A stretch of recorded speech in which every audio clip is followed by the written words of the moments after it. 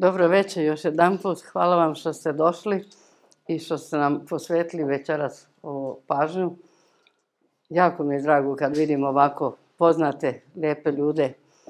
I da vas pitam, kako se osjećate? Divno. Jeste dobro? Jel osjećate tu energiju? Da. Da, naravno. A zašto vam sad, zašto vas to pitam? Pa ta energija koja se stvori u jednoj ovakvoj dvorani sa puno ljudi koji jednako razmišljaju, koji su ovdje došli iz ljubavi. Jel ima neko ovdje da je natjeran da dođe večeras? Ne? Znači svi ste došli dobrovoljno, zato što želite da budete ovdje, da uživate. U ovoj dvorani je uvijek taka jaka energija, da kad se završi predavanje, većina ljudi još uvijek sjede. Zašto sjede? Jer im je prijatno, tu osjećaju se dobro. E, ovaj uvod sam rekla zbog toga što sam ja upravo doživjela nešto iskreno. Prije mjesec dana pala sam i ovom sam rukom udarila o asfalt. Tako sam baš povrijedila ruku, nije ništa bilo slomljeno, ali je bilo sve i ugruvano. I skoro 15 dana ja nisam mogla ništa da radim s tom rukom. Tu je bio doktor Boro, evo imam prijateljice koji su bile kod mene kući, još jedan doktor e, Marko kod mene u stanu. I kad su oni došli u kuću, ja sam ovom rukom otvorila vrata, ovu sam držala ovako, ja nisam mogla ništa apsolutno da radim. Zamutana. I sjedili smo jedno dva sata, tri koliko smo bili u toj prostoriji, taka je bila jaka divna energija, jer smo svi bili raspoloženi, e, svi se poštujemo, volimo, zaista se osjećala ta ljubav i ta povezanost.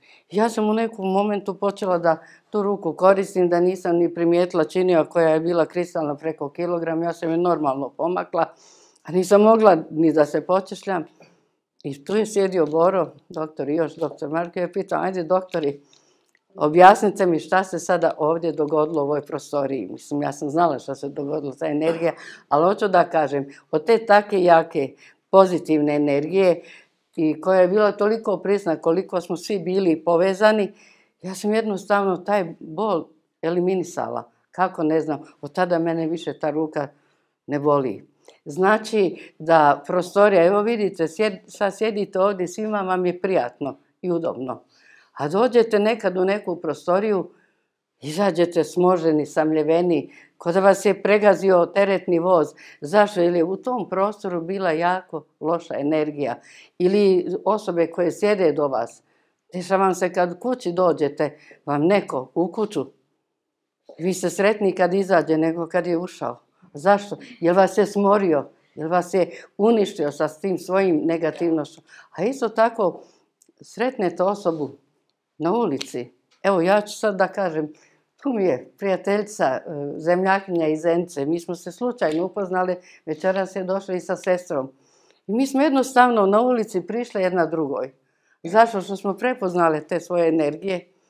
I evo i dan danas smo prijateljice i čujemo se ponekad telefonom. Hvala Sanja što si došla i što si dovela sestru, jer meni ovo mnogo znači. Znači da mi možemo e, da ozdravimo uz tako nešto. A isto tako ja ću vam ispričati jedan slučaj iz svog života koji je bio prije 10 godina, 86. u stvari.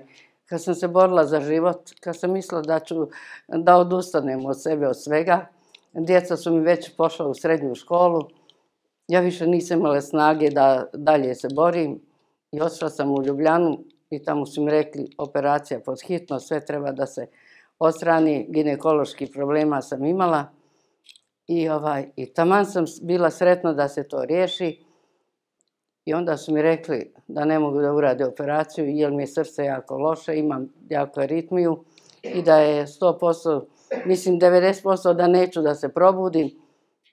ja sam rekla, ja više te muke ne mogu da trpim i dobro, nema veze, već sam se pomirila s tim i da odem s ovog svijeta i onda ljubav prema djeci, prema svemu, Rekla sam šta će oni da rade, kako da ih ostavim, kako da sve. I našla sam u toj ljubavi snagu za svoju djecu, za porodicu i kažem ne, ja ću ozdraviti. I kažem doktoru, zovnem ga u sobu, ja hoću da vi uradite operaciju bez obzira na sve. Pa kaže, ali moramo da razgovaramo s vašom porodicom, vi nemate, rekao, s njima ništa. Ja sam odrasla osoba, punoljetna, koliko znam, još sam rekao mentalno zdrava, znači nemam tutora. Ja donosim odluku da mi radite operaciju. I nakon doktor me pogleda, a kaže šta ako se ne probudite? Rekao, znate šta doktore, ovaj put ću se sigurno da probudim, a ja vam dajem riječ. Pa kažem, kako ste sigurni? Ja još nikad nisam nikog prevarila, ni slagala. Evo mi, prijateljice, ja imam ovdje sve ljude koji me poznaju ovo, ništa ne govorim na pamet. Moja riječ je jaka ko beton, jer ako nešto obećam, to ima da bude. I kažem ja, samo vi radite svoj posao. Naravno, operacija je završena, malo duže je trebalo da se probudim. Prvo što sam vidjela, vidjela sam svog doktora koji me persao, kako mi drži ruku na čelu, drugu, za drugu me drži. I kaže u meni, vi ste stvarno žena od riječi, ma vi ste žena zmaj. I ta sam dobila taj nadimak, žena zmaj. Kaže, kako ste se, kako ste bili sigurni? Ovaj, ja kažem, pa tamo posla doktora, sam toliko počela stvari da radim, toliko mi nekih novih stvari krenulo, i sada to se osim, pa nema smisla. Nemam vremena. za tako nešto, to ću da uradim nekom drugom prilikom. To ću da vam kažem koliko je ljubav bitna, koliko je ljubav važna kad je osjećate, ali ne samo onako kad vi kažete ja volim. To je ništa, to je fraza. Ali, vi da li osjećate ovdje, da li osjetite te leptirće, da li osjetite nešto u sebi kad kažete ja nekog volim iskreno, da ga volite. I zaista e, za, od te godine ja sam uzela život u svoje ruke i rekla sam više, izvinjavam se ovdje doktor Bori, ako još ima neko od ljekara, da me pogrešno nesate, kod ljekara idem samo da provjerim neke nalaze ako nešto ne znam šta mi je, a liječim se sama. Meni je 76 godina, ja ne pijem ništa od lijekova, koristim samo prirodne proizvode i preparate. Znači, bolest kao bolest ne priznajem, jer upamti sam riječi dobro doktora Bore, kad sam ga prvi put upoznala, e, to nikad ne zaboraviti, kad je rekao da bolest nije prirodno stanje. Mi bolest sami sebi prizivamo i donosimo. I dok sam slušala doktore i pila sve što su mi dali, e, ja sam bila bolesna. Prije mjesec dana i više sam imala operaciju jednog oka kataraktu i kad sam ošla kod interniste da mi da svoje mišljenje, da bi mogla otići na operaciju i žena se onako gleda u mene, gleda u onaj kompjuter, ne znam šta se događa. Kaže, gospođo, kad ste vi zadnji put bili kod ljekara? Rekao, nemam pojma. A kad ste zadnji put radili analizu, rekao, ne znam ni to. A kad ste bili kod interniste? Pa rekao, možda negdje tamo 7, 8, 10 godina. Ali vi, kaže, nemate uopšte ni jedan lijek da trošite. Nema zadnje godina, nisam ništa podigli. Pa rekao, nisam. Pa kaže, znate šta, ali eto, ipak, sve sam ja pregledala nalaze, ali baš šećer nije u redu, bar bi trebali za šećer. Kaže mi, izvinite, šta mi nije u redu? Pa kaže, šećer vam je 6,2. Draga, rekao moja doktorica, dok ste vi još studirali, tad je šećer bio 7,0. Zvanično. A što je farmaceutska industrija ga spela na 5,0, da bi ja počela pit lijekova. Ali kaže, ja bez obzira moram mama da napišem lijek radi sebe, da bi sebe opravdala. Pa kažem, sam vi to pišite, ja to neću da koristim. Jel, stavit ću uzeti onda za želdac, pa za jetru, pa za ono, pa ću onda još i doću e, na, e, u tu fazu, ko što su moje vršnjakinje, ja dođem kod njih na kafu, zato se s njima i ne družim, izvadim mi onu kutiju od cipela i pokazujem mi šta se pije ona u toliko dana, po dva do tri puta popije po 13 lijekova. Da ste primijetili da te sve starije žene imaju te kutije ogromne, sa, ja kažem, Bože, sačuvaj, ja to, ja to ne mogu da, da shvatim, je zaista se može živjeti bez lijekova. Znači, e, rijetko kad da sam upotrebila nešto ako imam jake bolove koštano-zglobnog sistema, ako moram negdje da odem pa ne mogu to da obavim. Inače, sve rješavam na jedan normalan način, izmasiram sama sebe, radim ono što je potrebno. Znači, pijem ujutro, ne pijem više kafu, pijem cijeđene sokove, popijem limun, razmučen sa sodom bikarbonom, znači hladnu vodu iz friždera da mi proradi svaki damar i, i volim svakoga, volim sve ljude. Kad sam, smo osnivali ovo ministarstvo ljubavi, koliko sam sretna. Ja i Boro isto nisam mogla da spavam ko ni on dok smo to sve postavili na noge i kako da uradimo. I ja sam otad, pa mislim, koliko sam Boro mlađa sada, od oktobra. ja se toliko osjećam sretna jer vodim sa taj naš tim i izabrala sam ljude s kojima ću da radim. Ja sam puna energije i snage. Počela sam neku iz sebi knjigu da pišem, da nešto ostavim. Ali hoću da vam kažem, ta ljubav koju osjećam prema svemu tome, prema prvo sebi, počela sam, naučila sam da volim sebe. Jer čovjek koji ne voli sebe, ne voli nikog. E, prije je bilo sramota i reći egoista voli sebe. Mene je moja mama naučila da je sramota voliti sebe, da treba da voli svakog drugog. I moja čerka kad je imala tri godine, imala sam sina mlađeg, i nije htjela da mu da parče čokolade je on već svoje pojeo. Ja sam rekla, kako moraš biti takva, zašto ne daš, je li bilo normalno, daj svom bratu. A ona mi je rekla, rekao, zar ne voliš brata? Pa kaže, naravno da ga volim, ali ne mogu da ga volim više od sebe. Ja kažem, pogledaj, njoj je tri godine. Ja sam njoj to zamjerila. Rekla sam, šta ja rodim? Kako je to dijete moglo da tako bude sebično? Ja sam tek negdje u 50 nekoj godini shvatila da sam ja najbitnija sebi osoba da treba da volim sebe. I počela sam polako da se mijenjam i mijenjam se svaki dan. I svaki dan radim na sebi i radit ću dok sam god živa da nešto promijenim, da nešto novo naučim, da nešto novo unesem u svoj život. A isto tako da unesem u život drugih ljudi. Nedavno sam bila u naselju gdje sam prije stanovala na telepu i sretnem ženu koja ima godina kao ja. Eto tako ide. Što ti vam što tako ideš? Kaže ona, ma pusti me, nisam nikako. kako nisi nikako? Pa kažem ja, pa kaže sve mi fali. Rekao, jesi jutro ustala sama? Kaže, jesam. Si otišla do sama? Jesam. Skuhala kafu? Kaže, jesam. Napravila doručak? Jesi bila, jesi bila u prodavnici? Kaže, jesam. Pa majko mu, kako moraš da kažeš da, da si nikako? Rekao, sram te bilo, kako te Boga nije strah da kažeš koliko jutros ljudi nije ustalo, nije se probudilo ili ostalo šlogirano ili ostalo sa, e, završilo na klinci sa teškim infarktom. Ja kažem, pogledaj, i ti kažeš da nisi nikako. Sutra dan je sretne, jer sam bila dva dana tu, ona ide na 10 metara ispred mene, nasmijana usta od uha do uha, vesela, kaže, odlično sam, dobro sam. A ja sam bila sretna jer sam joj vratila osmijeh na lice, e to je ljubav. Znači da svakog nasmijete, da svakog obradujete i sad svi koji me obično poznaju već idu i svi mi mašu, smješkaju se. I ovaj, ja na taj način e, tu svoju energiju širim i da je ljudima prijatno. I ovaj prostor u kojem sad živim, ne znam ko mi je god došao, kaže da ima neku finu energiju, ja sad već u situaciji kad mi dođu gosti da kažem, aj majke ti bili išli kući, ja bi išla spavat. Toliko je svima kako uđu, kažu prijatno, jer je se ta energija osjeća. Znači, koliko je god bitno ovo što je doktor Boro govorio šta jedemo i kako jedemo, toliko je bitno da mi vodimo računa o tim energijama. Da vam kažem, bez obzira ko vam je u pitanju, da vam je neko najrođeniji, ako vam stvara lošu energiju, ako se loše osjećate, vi trebate tu osobu, ne morate izbaciti iz života, ali je trebate koliko god možete više zaobići. Ne smijete dozvoliti da vam uništava vašu energiju, da vas, eh, da vas razboljeva.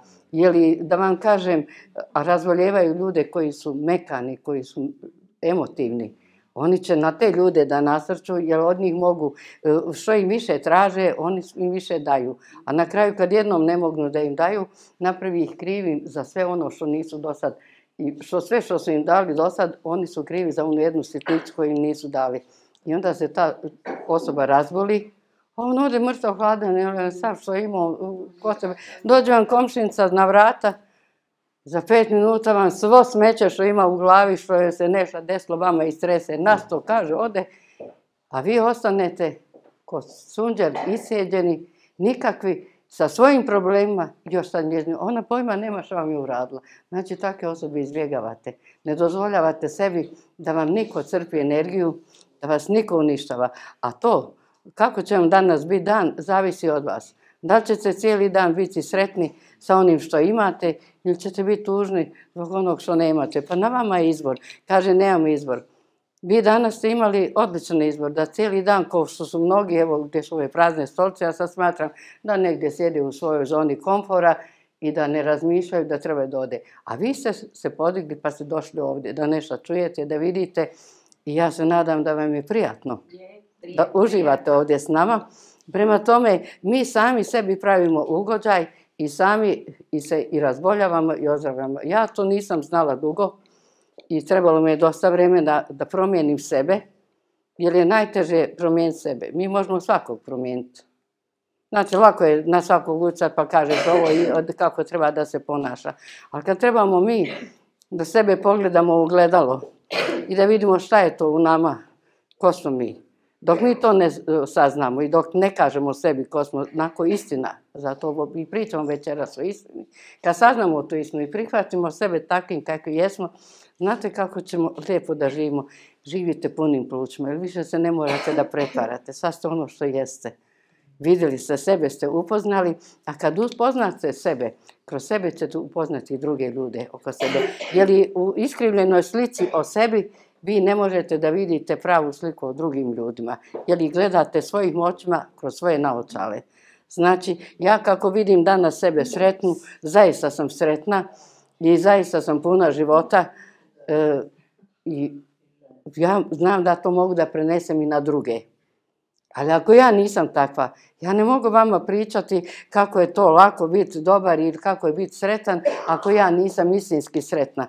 To su fraze koje pričate ljudima bez veze, ali pokažete, nek ljudi na vama više vide da ste sretni. To kad dođete kod frizera koji ide i vidiš frizerku nikako, ni naša ne liči. I ona mene hoće da uradi frizur, ma bjež od mene, da mi radiš prvo, uradi sebe, sam ti pričaš o nešto. Dođem kod krojačice, tu je ošiveno, ovdje je fali dugme, nešto i priča kako ona mene može da uredi. E tako i ja, da sad pričam vama kako mogu biti zdrava, kako mogu ovi koji me poznaju, ovdje ima dva reda, ljudi znaju da zaista ne koristim nikakve lijekove, da sam uvijek vesela. Kako ustanem ujutro i zaberem da li ću da se cijeli dan mrštim ili ću da se smijem. Pa nešto mi ljepše kad se smijem, ljepše izgledam i sebi i drugima. Znači, izbor je naš. A to je ta ljubav prema sebi koju sam ja smatrala da je ružno, da ne smijem to da osjećam, da je to sebičnost, da tako smo u naše vrijeme imali tu matricu. E vidite, kad shvatite ko ste, šta ste i gdje pripadate, kako život može da bude lijep. Ja svaki dan nastojim da sebi život uljepšam bilo čim, pa kad baš koji svakom dođe nekad nešto, ja onda izaberem ono što mene radi. Odem do cvjećare, kupim sebi neki cvijet. Baš mi briga, kad niko nije drugi kupio, ja ću sebe obradovati, ja sebe obradujem i uživam u tome. Znači, nalazim načine kako da budem srećna. I sve ovo što sam ispričala i jednu i drugi slučaj je istina i vi možete svi da tako postignete da to uradite. Nikad više ne razmišljam. Ja, na primjer, ne razmišljam o bolesti. Jer sam shvatila da je bolest neprirodno stanje i za mene ljudi trebaju da umru od smrti, a ne od bolesti.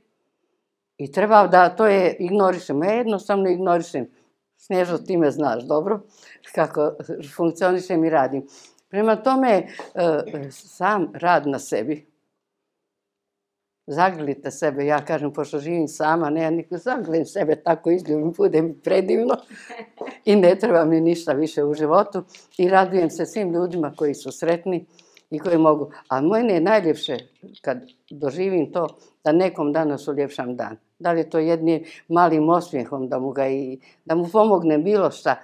I kad na večer legnem, tako lijepo zaspem jer znam da sam nekom uljepšala dan i znam da moje postojanje na ovoj planeti nije bez veze, da ono ima svoju svrhu. Znate, jer vi niste onda, ako ste danas nekom popravili dan ili nešto pomogli, e, vi imate svoju svrhu što živite. Ako nemate to i niste to doživjeli, šta da, ja ne znam, da jedem, spavam, jedem, spavam, je to život? Ne, to nije život. Evo, život je ovo što mi ovdje razgovaramo.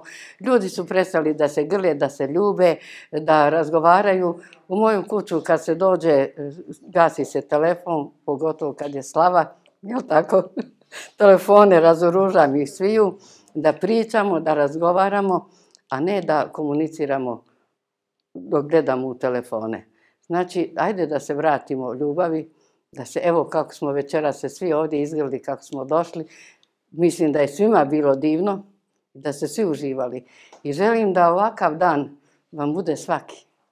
Da uživate u sebi, da uživate u, svojoj porodici, da uživate u svakom cvijetu. Pa i ovoj kiši danas što je bila, pa šta ako je pala kiša, nikom nije pala uh, glava.